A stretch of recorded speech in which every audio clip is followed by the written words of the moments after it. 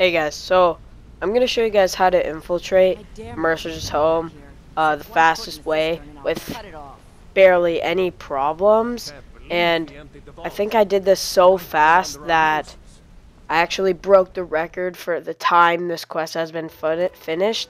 I don't know though, so yeah, enjoy. So I'm just gonna take out this guy first because uh, you have to take him out. He's the guy that actually guards Mercer's home. So, yeah, it's better to just take him out earlier. And this place I'm about to show you to get into Mercer's home the fastest isn't that hard to find. It's about, like, uh, in the back of where the Thieves Guild is. And basically, you want to jump onto this bar barrel, jump on the roof, and cross that gate. And it actually takes some time to jump onto the barrel, uh, get on the roof, and then across the fence. So here's just some quick clips of me failing. So, uh, I yeah. Uh, so I show you guys what not to do. Now this is what you want to do. You want to go into first person, uh, get into third person. Now just run on the top of the roof so you get some height.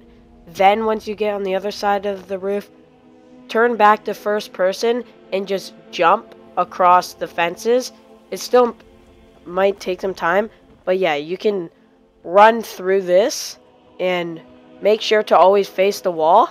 And once you get here, just keep on jumping and jumping, and you'll end up getting to the top of the house.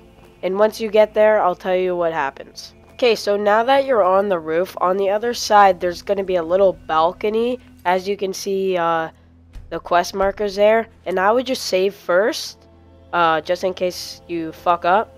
And now it's open. You can open it and just continue to do what you would do to finish the quest normally.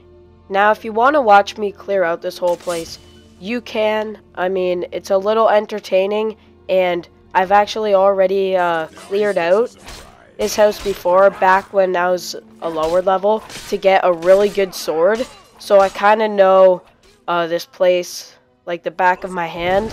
So I have some little tips on how to get through this place, but just watch because you might you might pick up some tips that you would have missed if you didn't watch.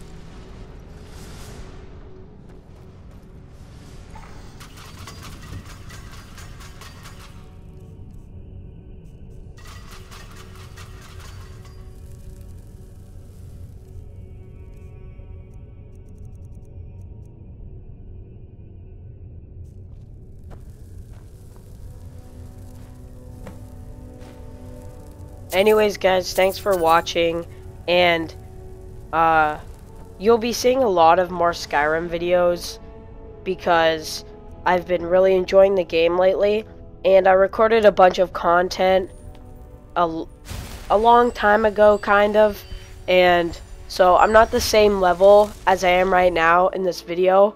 I'm a little higher so basically uh, expect a bunch of Skyrim videos and I'm sorry for not uploading. I took a really big break. Uh, I don't really like talking, like, going on Xbox anymore. I just go on to play games and just stuff like that. And I didn't really feel like playing or making videos anymore. But now, uh, I, like, hooked up something that makes it easier to record.